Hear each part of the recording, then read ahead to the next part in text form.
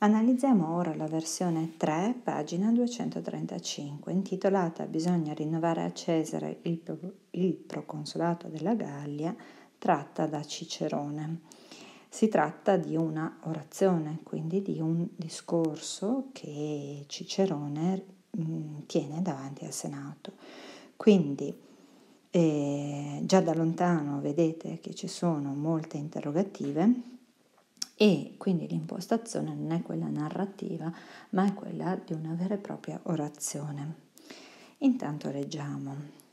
Quid est, cur Cesar in provincia remanere velit, nisi ut ea quae per eum ad fecta sunt rei publici Romeque perficiat?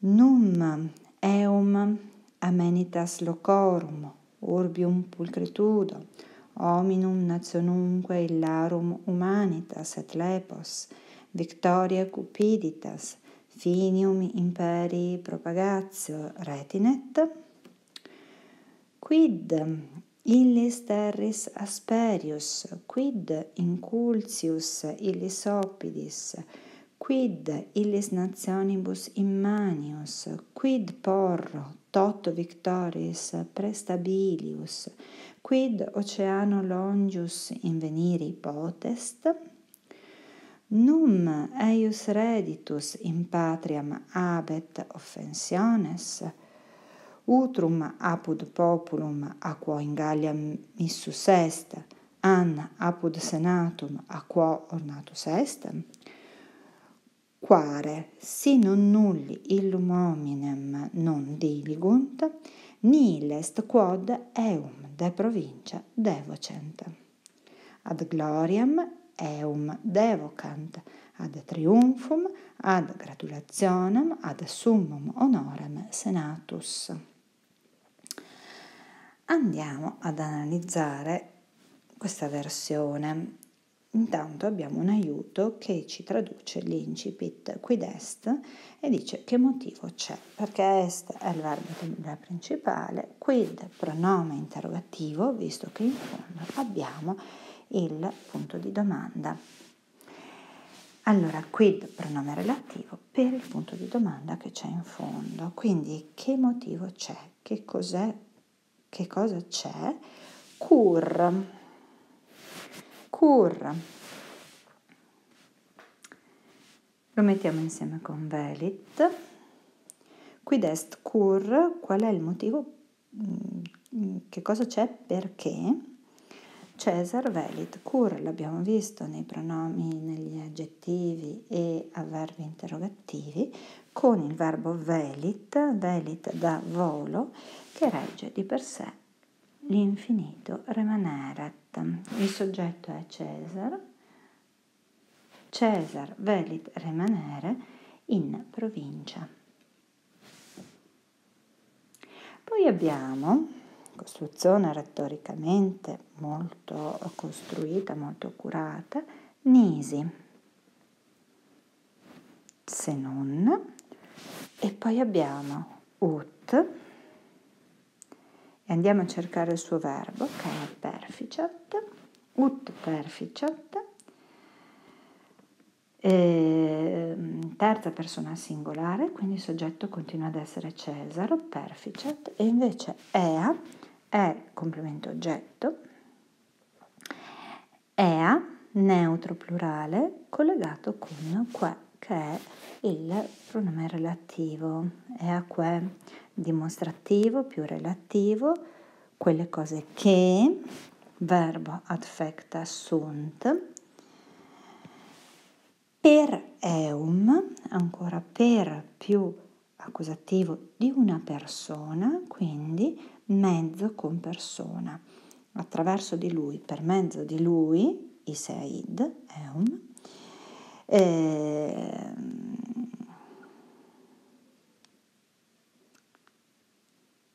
eh, manca una virgola di conclusione di questa eh, relativa, qua è per eum ad fecta sunt rei publice romeque. Lo chiuderei lì, anche se potrebbe essere anche retto da perficet, però proviamo così. Ea que per eum fect assunto rei publice romeque e abbiamo ut perficet ea que, complemento oggetto. Quindi, ricapitolando, quid est cur, probabilmente sul vocabolario trovate tutta l'espressione anche insieme con cur, per trovare un modo per renderla, e abbiamo cur Cesar velit rimanere in provincia, se non ut più congiuntivo ed è una proposizione finale.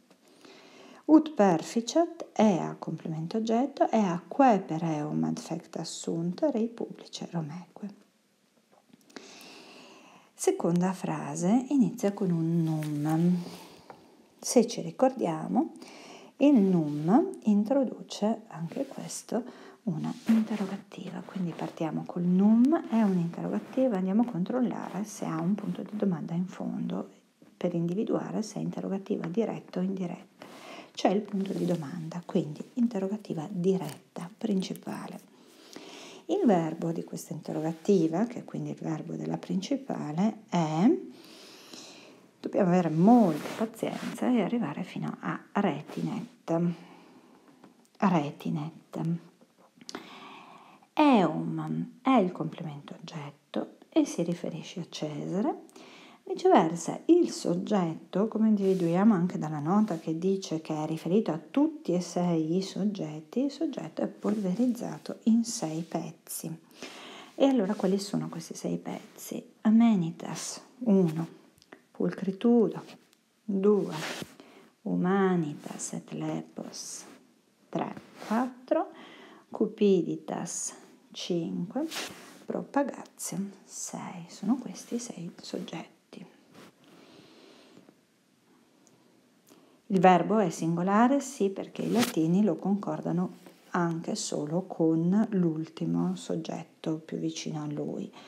Noi lo possiamo fare lasciandolo singolare? No, perché diventa un errore grammaticale in italiano. Quindi, lamenitas locorum, la pulcritudo urbium, guardate come la costruzione è eh, analoga per tutti e sei i soggetti, quindi nominativo più genitivo, pulcritudo nominativo, urbium genitivo, humanitas et lepos con due genitivi, hominum et nationum illarum.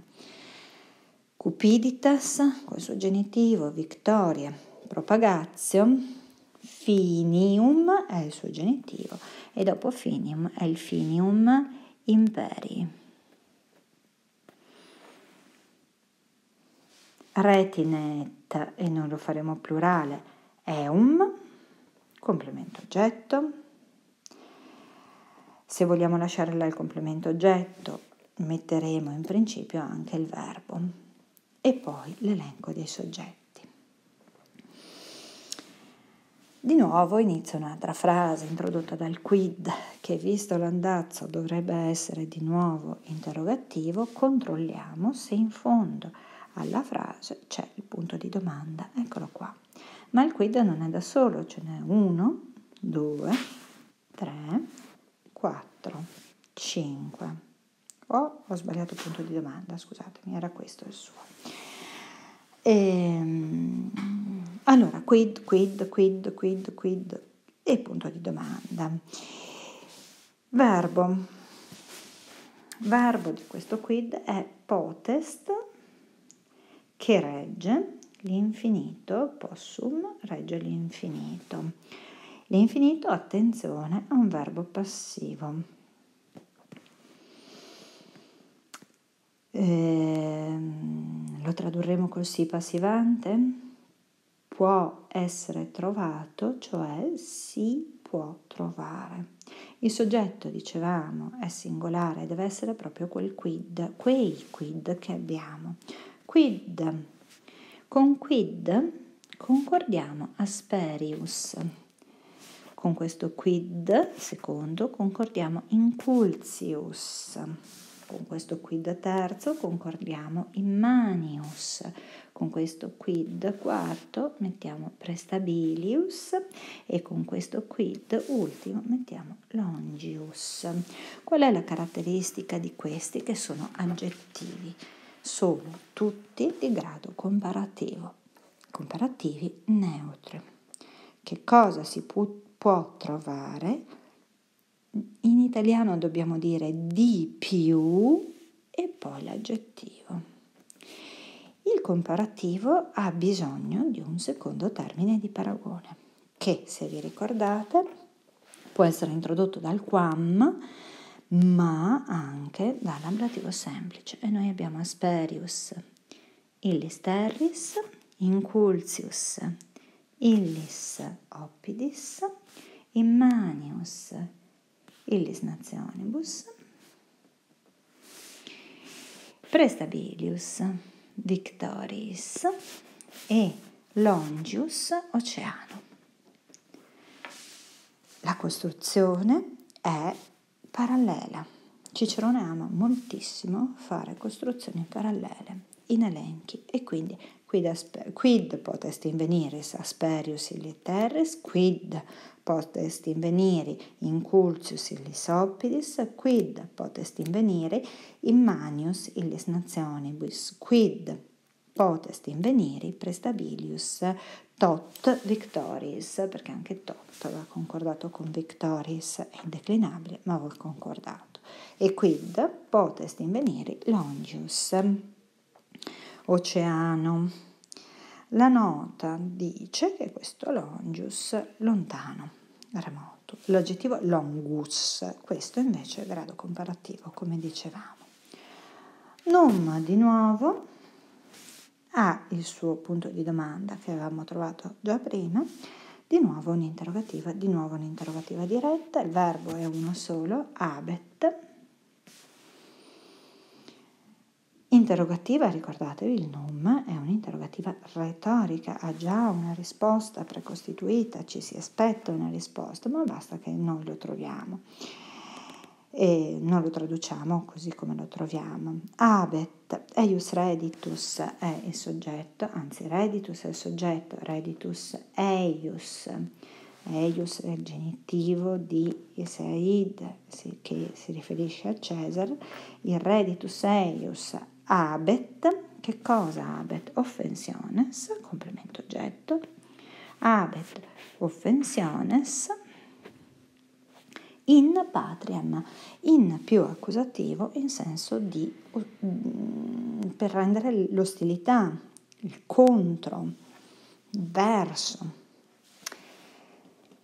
Altra frase interrogativa, introdotta questa volta da utrum. Utrum può essere tante cose, ma qui è utrum an e punto di domanda. Utrum, puntini puntini, an, puntini puntini, è l'interrogativa disgiuntiva, i due pezzi. C'è il verbo? No, il verbo è sottointeso. È quell'abet offensiones di prima e l'alternativa invece è posta tra apud populum e apud senatum. Utrum apud populum e apud populum ha l'ampliamento nella relativa a quo missus est. Il populum a quo missus est in Gallia, e invece senatum ha sua, il suo ampliamento in a quo ornatus est. Ancora costruzione parallela. Quare conclusiva, congiunzione conclusiva, ma è, non è subordinante, si non nulli, non diligunt. Abbiamo il si, è questa la subordinante, e il verbo è diligunt. Guardate come gioca con le negazioni. Sì, non nulli, non diligunt. Non nulli è il pronome che abbiamo studiato, non nulli, non diligunt, non nulli soggetto, non diligunt verbo. Hominem, concordato con illum, è il complemento oggetto, illum hominem, quindi soggetto non nulli, illum hominem, complemento oggetto. E questa è la nostra relativa eh, scusatemi, la nostra ipotetica. Nihil est quod, lo troviamo tradotto in nota, non c'è alcun motivo per cui, Nil est, est è il verbo della principale, quod introduce il per cui, la causale, devocent, eh, lasciamo il congiuntivo. Nil est, quod devocent eum de provincia.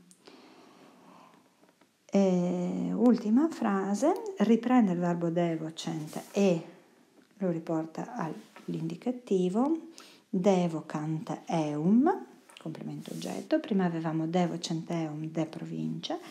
E poi abbiamo devocant eum, retoricamente insistito l'uso di devocant, devocant eum ad gloriam.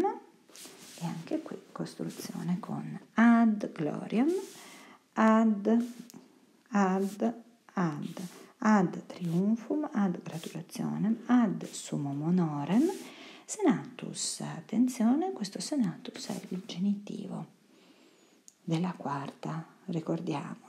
Devocanteum, ad gloriam, ad triumphum, ad gratulationem, ad summum honorem, senatus e che è quindi la spiegazione del perché bisogna rinnovare a Cesare il proconsolato in Gallia. Buon lavoro!